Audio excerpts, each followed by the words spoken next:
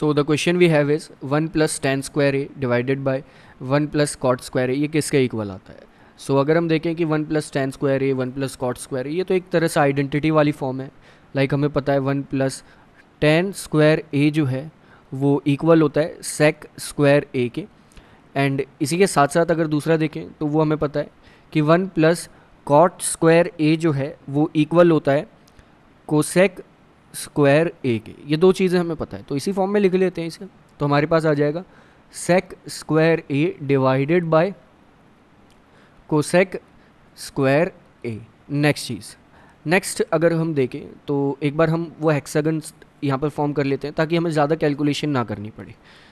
तो अगर हम इस हेक्सागन में देखें तो ये हमने रखा था टेन ये हमने रखा था साइन फिर ये था हमारा कॉस कॉस का ऑपोजिट सेक सेक के बाद साइन का अपोजिट कोसेक एंड इसके बाद टेन का अपोजिट यहाँ पर कॉट अब हम देखें तो ये सेक अपॉन कॉसेक आ रहा है।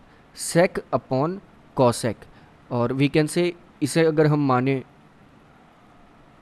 दैट इज़ टू तो ये हो जाएगा हमारा थ्री यानी कि हम इस डायरेक्शन में चल रहे हैं। इस डायरेक्शन में चल रहे हैं तो ये हो जाएगा हमारा वन और हमने सीखा था कि वन होता है इक्वल टू अपॉन थ्री के।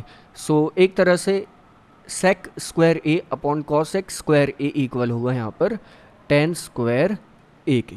सो आप हेक्सागन का बहुत जगह पर यूज़ कर सकते हैं तो डायरेक्टली आप यहाँ पर बता देंगे कि सेक स्क्वायर ए जो होगा sec square A divided by cosec square A ये टेन स्क्वायर ए के इक्वल आएगा।